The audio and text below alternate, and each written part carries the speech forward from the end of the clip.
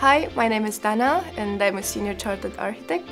At the Architects of London, I deal with projects from A to Z stages. Uh, the building process can be quite overwhelming for some of our clients, so I try to design not only architecture but also experiences born from a careful thought for the user and the context. Uh, it's hard to choose the best things about the Architects of London, but one would be the opportunity to manage my own pro projects and develop an effective, high-end and beautifully designed architecture. The second one, it's definitely the people here. Um, awesome colleagues and friends. Love you guys.